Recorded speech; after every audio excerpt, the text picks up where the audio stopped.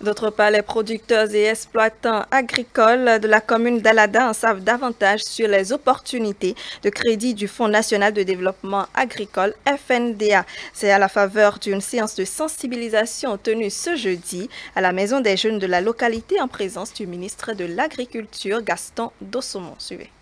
Alada, ville située dans le département de l'Atlantique, reçoit ici à la Maison des Jeunes de la localité la délégation du ministre de l'Agriculture, de l'Élevage et de la Pêche Gaston Dossoui pour cette séance d'échange et de sensibilisation. Tout comme dans les autres communes de son périple, l'objectif de cette descente à l'étape d'Alada vise entre autres à informer les producteurs et exploitants agricoles sur les opportunités liées à l'accès au financement des services financiers par le touchement du Fonds national du développement agricole FNDA.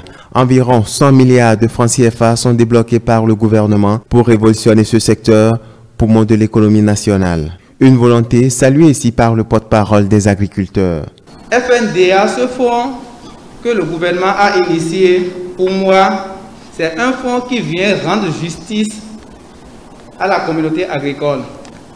Sinon, comment comprendre que le poids de l'agriculture dans le développement du Bénin, malgré tout cela, c'est les agriculteurs qui continuent toujours de souffrir. Le chef de l'État, M. Pratis Talon, que vous connaissez bien, a dit ça suffit. C'est quelqu'un qui connaît vraiment le monde agricole et il a promis alléger la tâche au monde agricole. Aujourd'hui, il lit l'acte à la parole.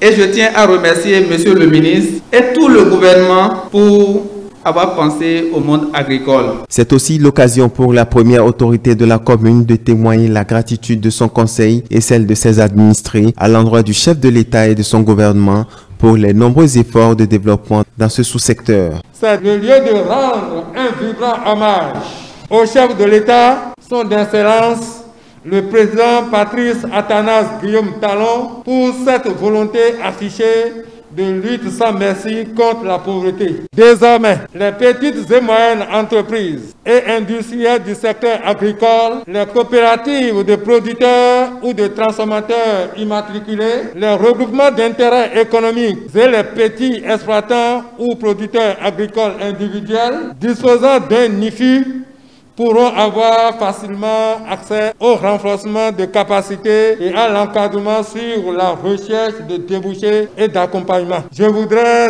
inviter les producteurs et exploitants agricoles à prendre les dispositions nécessaires afin de bénéficier des services et facilités qu'offre le FNDA et accompagnatrice. Dans un exercice de questions-réponses, le ministre de tutelle a apporté des approches de solutions aux agriculteurs. Gaston Dossoui a aussi exhorté les bénéficiaires de ce crédit à profiter de cette possibilité que leur offre le gouvernement. Il reste encore un potentiel qui sommeille chez chacun, mais qu'on n'arrive pas à réveiller faute de financement. Écoutez, il n'y a pas de honte. Les plus gros riches de ce monde sont passés par le crédit. Donc, qu'un État décide de mettre 100 milliards directement pour financer les promoteurs agricoles, les détenteurs de projets agricoles à accéder au crédit, donc moi.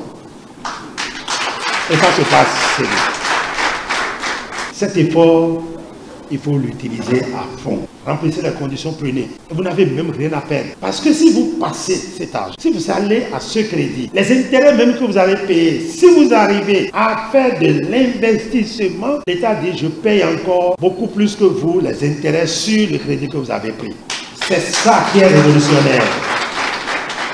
Après cette étape, Cap a été ensuite mis sur le COSA pour le même exercice.